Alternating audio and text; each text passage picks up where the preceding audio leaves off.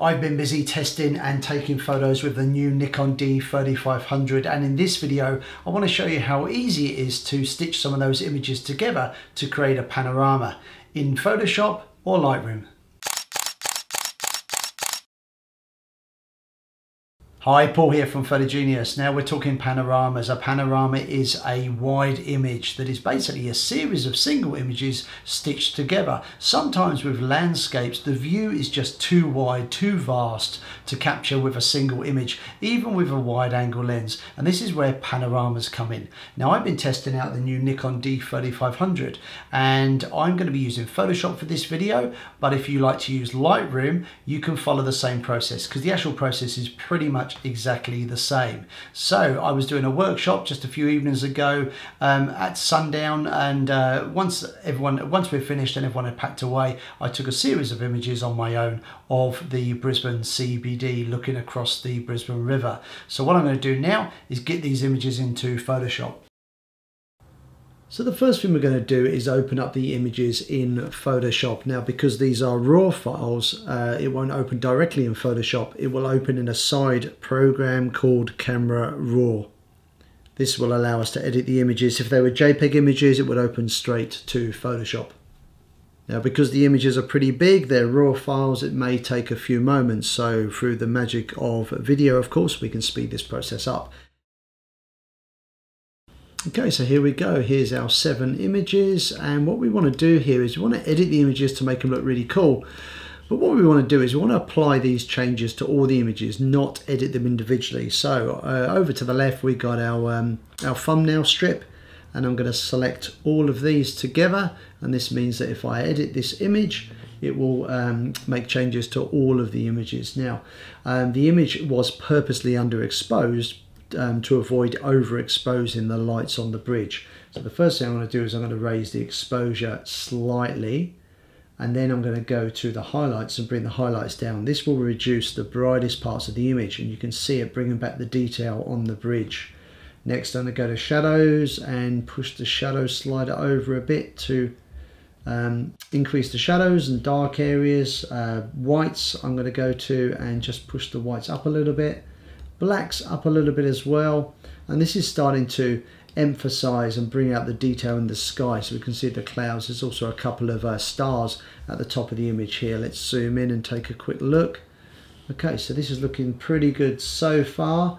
Now the image is already looking very sharp. So I don't think I need to uh, sharpen it. And next thing I'm going to do is I'm going to, I should have done this first really, is I'm going to go to lens correction and I'm going to tick the two boxes over to the right and you will see that it recognizes the camera and lens that I've used.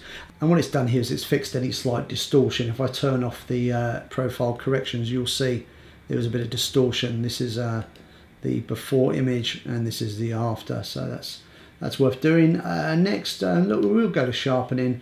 Um, I'll increase the sharpening just a tiny bit looks pretty good. There's a little bit of digital noise in the image. So what I'm going to do next is go over to noise reduction and pop that up to about 25% and that will just soften that noise in the sky.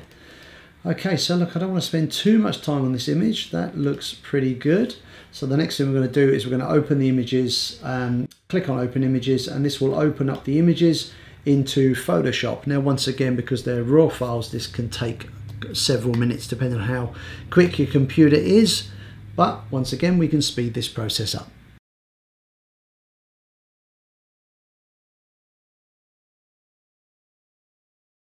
Now finally, with all six images um, open, the next step of course is to merge these together into one seamless panoramic. Uh, we go up to File, down to Automate, select Photo Merge, and we need to open the files. So we click on add open files. They should appear in this little box in the middle here. I'm going to click a couple of boxes here at the bottom, vignette removal, geometric distortion correction, and click OK. Photoshop now does its magic. And again, because they're raw files, this can take a few moments, but we're going to speed the process up through the magic of video. And well here we have our panorama. Now there are some parts of the image missing at the top and bottom, but that's not unusual when you pan a camera around. Um, so the first thing I'm gonna do is just trim this. I'm gonna go to the crop tool and just bring this down a little bit. over to the right here, crop into this building. I might even lose that building actually. Uh, let's see. Let's drag it back. Move the bottom in, put the horizon on the lower third, press return, and there is our panorama. I think that looks pretty awesome. Okay, so we're pretty much done. Now you will notice that there is a slight bowing or bending of the horizon. Uh, look, this shows that the tripod wasn't completely level when I took the photos. It was a little bit rushed, um, but the overall effect is, is pretty awesome. I'm just gonna now flatten the image. And there we go, one panorama image of Brisbane. And the detail of this image, considering this is taken with an entry-level Nikon camera, is pretty amazing.